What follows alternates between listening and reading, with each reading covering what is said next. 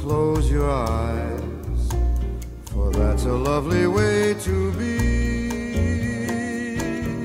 Aware of things your heart alone was meant to see.